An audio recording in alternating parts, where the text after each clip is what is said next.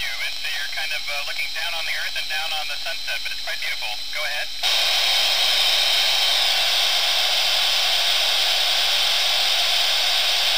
Hey, Sam. Well, uh, interestingly, space, since there's no air up here, it doesn't really have a temperature of its own, but if you uh, get in the sun or when the station's in the sun, everything gets very hot, and when you go into the shadow, for example, the shadow of the earth, everything gets very cold. So it really depends on if you're in the sun or the shade. Go ahead.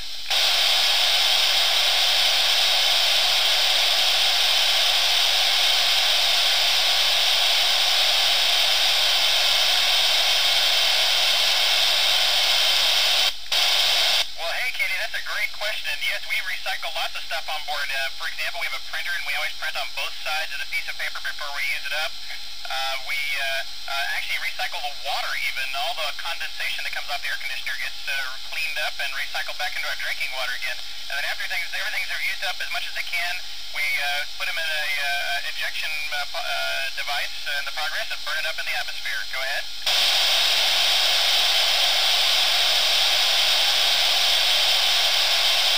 Hey, Danny, my favorite thing to do is to either look out the window at the Earth, which is so beautiful, or also uh, fly around and float uh, like you can do here in space, unlike you can on Earth. Go ahead.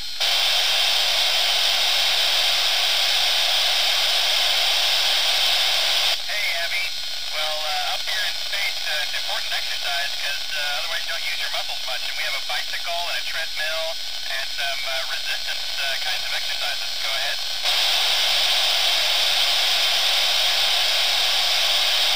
Hey, Ryan. Well, interestingly, uh, I'm only about 250 miles above you right now, and there's technically still gravity here.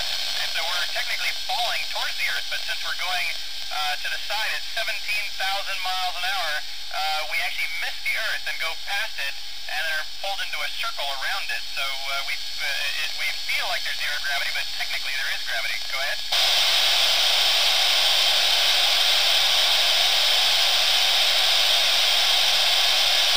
Yeah, hey, Michael. Uh, yeah, there have been many experiments about growing plants in space.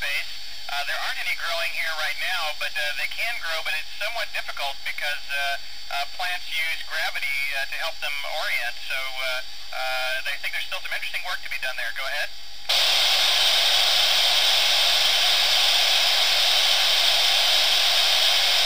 Hey, Hugh, for me there is, uh, because I still have something called space adaptation sickness. I got a little headache today, so it's uh, fairly hard to concentrate. But the people who've been here for a long time are doing very well. Go ahead.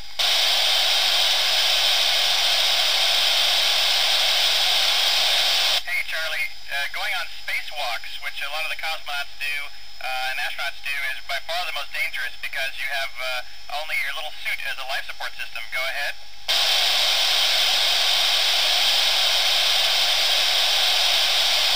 Yes, hey Rebecca, you sure do. At least uh, I know I do. It's uh, very easy when you get up here since there's no gravity uh, uh, for you to feel very disoriented and get dizzy easily. But after a few days, uh, you uh, adjust. Go ahead. Hey Alice, that was really amazing. For about eight minutes, it was like uh, uh, being on a, a, roller coaster doing a loop. We had uh, four G's or four times the force of gravity. It was great. Go ahead.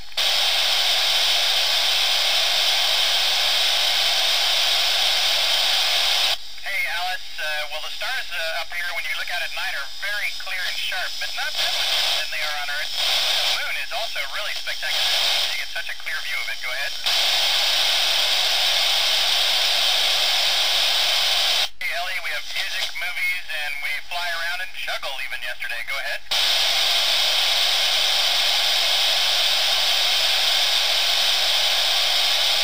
Yeah, hey, Annabelle, we sure can. Uh, we get to see it 16 times per day, in fact.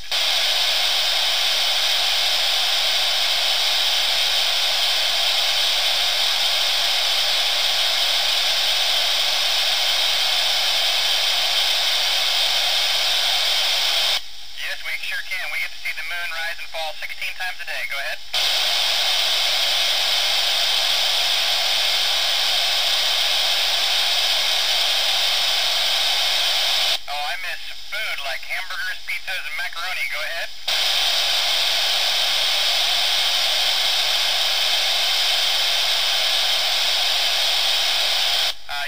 David Hill here. The commander's in charge, but there's lots of people trained for medical emergencies here. Go ahead.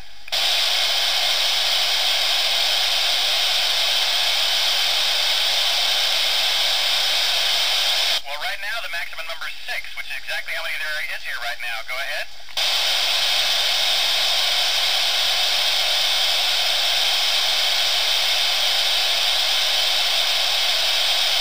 Ah, well, I would definitely strongly suggest uh, sticking with school and focusing on that goal because uh, I'm proof that if you want to, you can make it.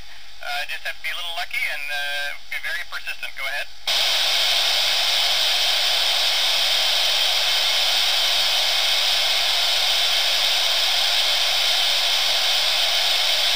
Well, I uh, think they'll definitely be uh, base in space, uh, if not here in orbit on the moon or Mars, or maybe all of the above. So absolutely. Go ahead.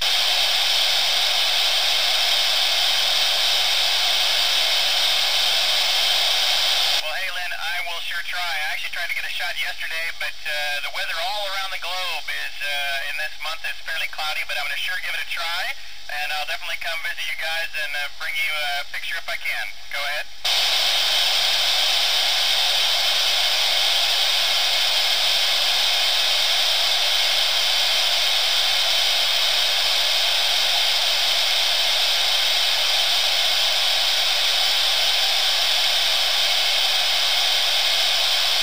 Well, thank you very much. That means a lot to me, folks, and uh, I'm sure excited to be uh, talking with you all here from space, and I uh, hope to see you as soon as I get back uh, next month. Bye-bye.